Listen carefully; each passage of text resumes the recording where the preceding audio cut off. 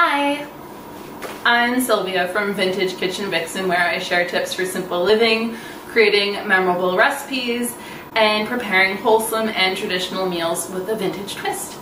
And today I am going to be sharing a recipe for pâte brisée. Pâte brisée, you might know it as short pastry dough. The way I like to make it, there's a lot of butter in it. Generally the formula that I follow is two parts flour to one part butter and then a pinch of salt and then I'll cut in all the butter and flour together so that's a fine crumble along with the salt and then I will add water until everything just comes together. Because the only fat that's being used in this recipe is butter, you want to make sure that your water is ice cold. You also don't want to be making this in a warm kitchen. It's great for winter, summer, you'll want to have your AC on. Uh, because of the buttery nature of this dough, it is essential that you chill it before you roll it out for whatever you need it for. So pâte brisée, it's perfect if you're making a, a, pot pie of some sort, whether that's chicken pot pie, whether that's a tourtière. I really like using it for quiche, and of course, if you are going to be making a quiche, it's essential that partially bake it before putting in your filling. But that's enough talking for me right now. If you are new to my channel, thank you for joining me today. I really hope that you like what you see, and if you do, please subscribe. If you are coming back to Vintage Kitchen Vixen, thank you so much for tuning in today. I'm always so glad to have you here. Now, for those of you who are new, I do this thing called silent film mode, which we are going to get into right now.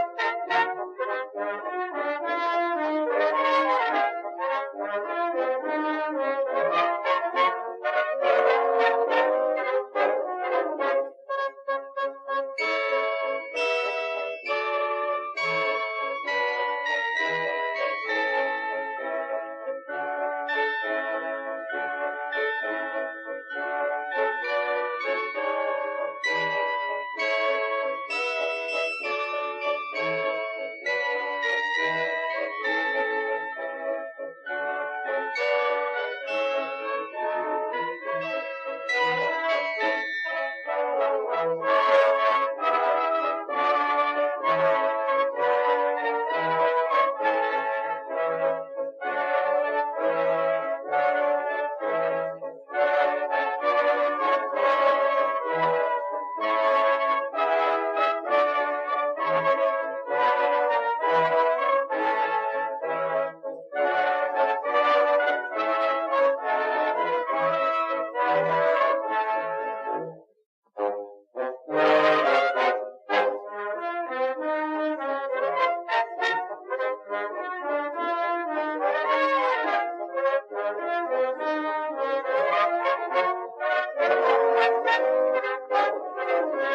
Thank you so much for joining me for today's video. I really hope you enjoyed it. If you did, please give this video a thumbs up, leave a comment if you feel so inclined, and share with somebody who doesn't know how to make dough for themselves because yes, frozen pie shells, they're so convenient, but they don't taste as good as a homemade pâte brisée. I haven't looked for it super hard, but I don't think it's that easy to come across a pure butter pie shell. But that's it for me today. I put out two new videos a week, so I will be seeing you real soon. Bye!